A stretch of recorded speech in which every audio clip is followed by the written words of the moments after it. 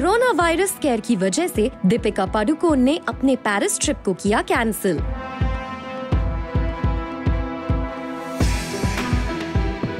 दीपिका इस साल Paris fashion week का नहीं बन पाएँगी हिस्सा। रिपोर्ट्स के मुताबिक दीपिका पडुकोन को उनके एक लग्जूरियस ब्रांड ने पेरिस फ़ैशन वीक में हिस्सा लेने के लिए इनवाइट किया था। दीपिका ने इस ट्रिप के लिए पूरी प्रेपरेशन भी कर ली थी, लेकिन लास्ट मोमेंट पर दीपिका को ये ट्रिप कैंसिल करनी पड़ी।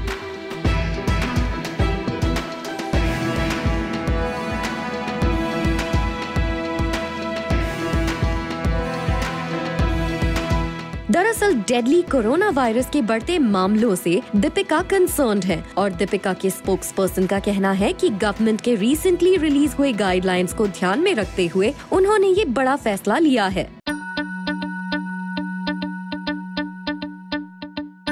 वैसे सिलेब्स कोरोना वायरस के बढ़ते खतरों को देखते हुए अपनी शूटिंग से लेकर अपने इवेंट्स को प्लान कर रहे हैं। गवर्नमेंट ऑफ़ इंडिया ने इंडियन सिटीजन से अपील की है कि वो बहुत ज़रूरी होने पर ही कोरोना वायरस अफेक्टेड कंट्रीज़ को विज़िट करें।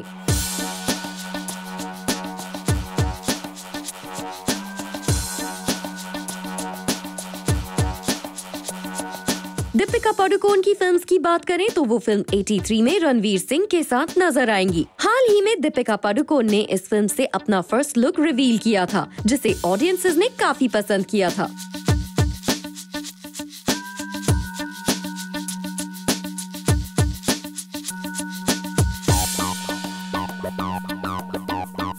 लेकिन दीपिका के कैप्शन को लेकर उन्हें काफ़ी ट्रोल भी किया गया था।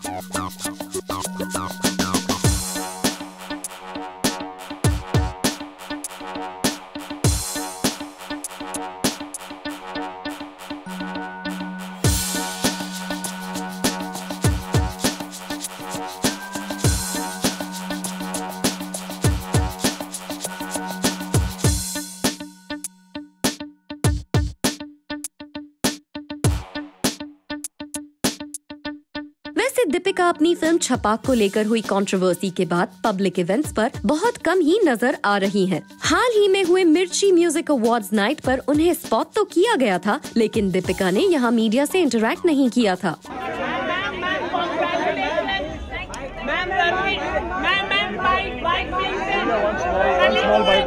इट सीम्स दीपिका पाडुको ने फ़िलहाल मन बना रखा है कि 83 की रिलीज़ से पहले वो और किसी कंट्रोवर्सी में नहीं फंसने वाली Watch E Town News Monday to Friday at 9:30 p.m. only on Zoom.